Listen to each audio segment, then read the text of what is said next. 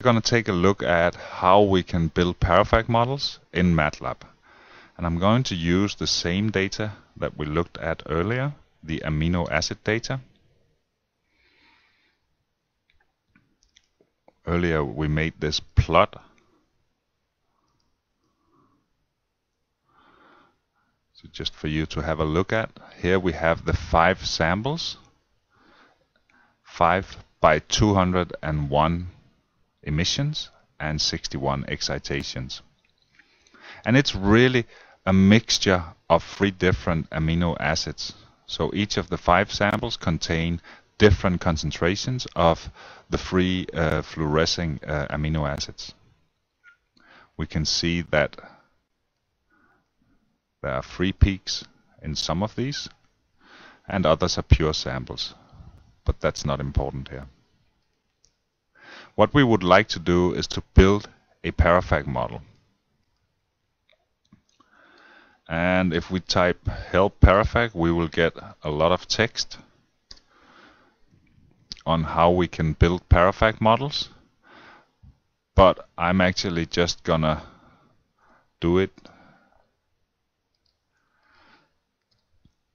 like this, Parafac, and the data that we want to build a Parafac model on, and then the number of components. And I happen to know that we need three components because we have three amino acids that are fluorescing. I will give the model a name so that I keep it and I press enter.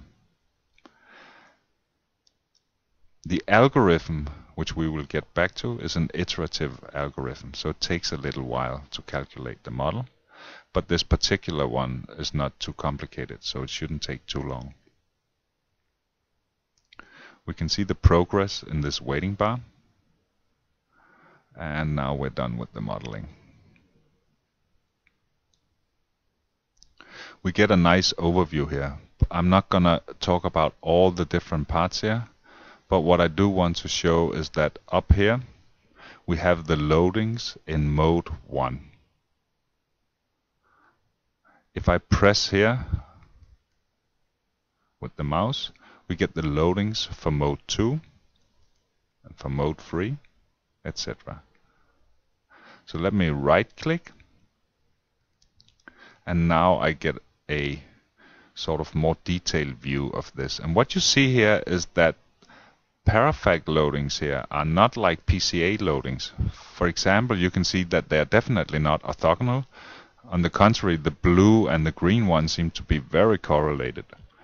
Parafac does not impose orthogonality like we do in PCA. Parafac simply says that we need to find the scores and loadings in the three modes, samples, emission, excitation, that fit the data the best. No additional constraints. No constraints of orthogonality, no constraints that the first one be the biggest one, etc just that they describe the data as well as possible. Now, what we gain from that is that we get uniqueness. Parafac is a unique model, meaning that there's only one solution. And because we know that Beer's law says that the pure spectra would also be a solution, well then it happens to be that if we use the right number of components, we get estimates of the pure components. So these loadings are not just abstract loadings like in PCA, these are really estimates of the pure excitation spectra. And likewise, if we go to the emission, then these emission loadings are also estimates of the pure underlying um, emission spectra. If the loadings are a pure spectra, well, then the scores are also not just scores, because the score would be the amount of loading, and if the loading is a pure spectrum, then the score here is going to be a concentration. It looks a little bit funny, but let's have a look at it.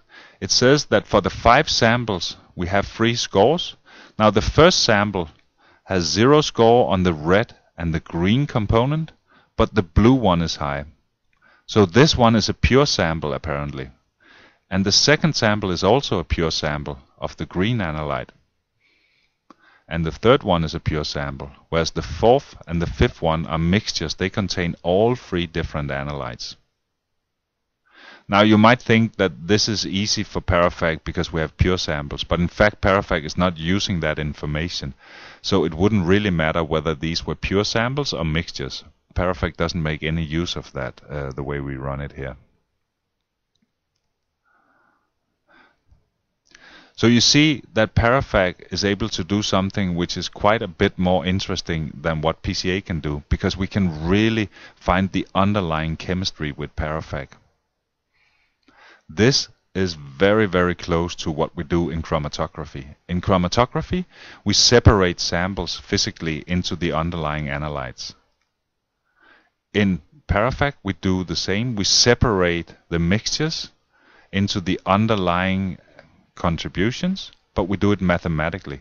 So that means we're doing chromatography, but we're doing it mathematically. We're doing it non-invasively without physically ruining the sample. The Parafac model here has all the same properties that we have in chromatography. In chromatography we would get a peak out for example, but we wouldn't really know what it was until we identified somehow by standard addition or or by looking at spectral databases or something like that. Well, we can do exactly the same here. We can identify the underlying chemicals just like we do in chromatography. And in chromatography, we don't really get concentrations. We get areas under a curve. But if we just add a standard or something, we can turn that into a concentration. And that's the same uh, that we get here we get abstract concentrations, but if I just know the concentration of one sample, I can get my concentration in mole per liter or whatever.